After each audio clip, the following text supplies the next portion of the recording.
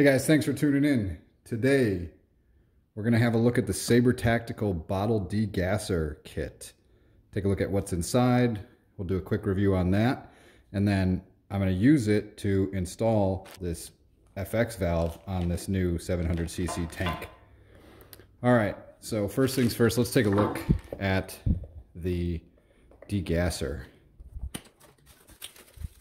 All right, so what it comes with is a bottle clamp, which is very nice. And it even has some like red grippy material in there, rubbery material to grab your tank and not damage it. Nice that they used red to kind of match the anodized finish of the tool. Uh, very good machine quality. I don't see any really machining marks or anything. It's a little cold because it's been sitting in my vehicle, so it's a little condensation on it, but very, very good looking tool. All right. So that's the bottle clamp part. You just put it over your bottle and then screw in this uh, Allen right here and it clamps it down. Not sure if that'll work for this. Oh yeah, it's gonna be big enough for the, this, this 700cc bottle is a little bit skinnier than the FX bottles. Okay, so that's part one. The, probably the more important part is the actual wrench and degassing tool. So how this works, that threaded hole is just to store this in there. So to actually degas it, this slides over your valve assembly. There's a pin right here that goes into the little hole. Okay, so that grabs it. And then if this was on a bottle, I could then screw this in to press down the valve and drain the air out. In this case, we'll simply be using it as an installation tool.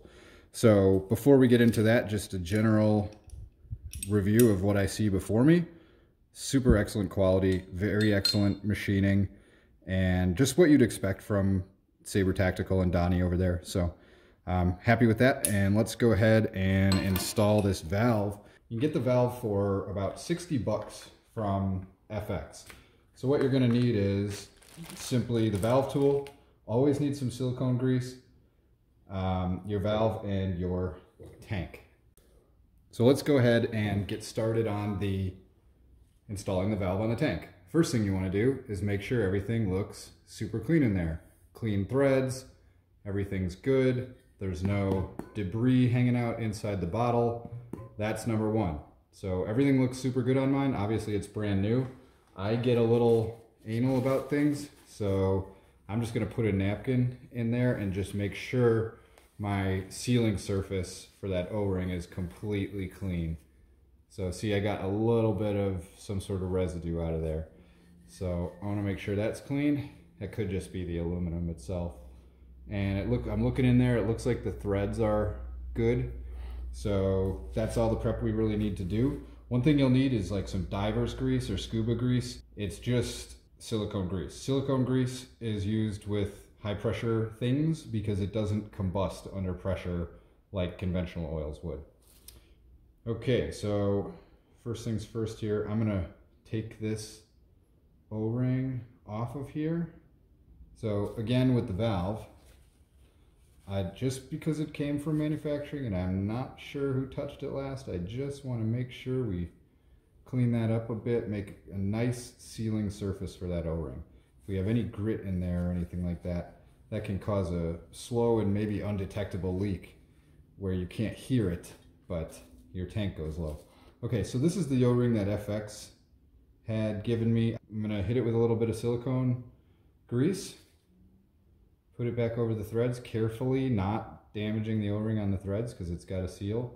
And in fact, I'm gonna put just a little bit of grease right where it's sealing up too, because I want that to be a good sealing surface for that O-ring, okay?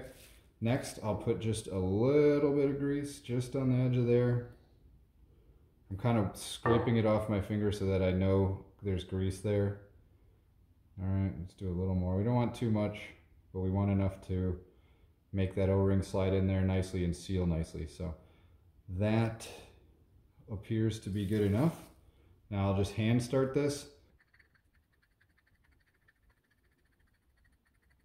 Okay, that's looking pretty good. Now, we're gonna just take the tool and line up the pin with the hole, get it on there, and get it pretty nice and tight. I do not want this leaking. And that's it. That's an FX valve in my new 700cc tank easily installed with the Saber Tactical bottle degassing kit. I hope you guys enjoyed that. Hopefully it was helpful to you. Thank you so much for tuning into this one. I hate to say it. Say the line, Bart! Like and subscribe. I just got kicked off of the Amazon affiliates program for not having a thousand subscribers, so maybe help me get to a thousand. I'd really appreciate that, and uh, then I can start making a few pennies off of Amazon. Anyway, until next time, cheers, guys. Thanks for watching.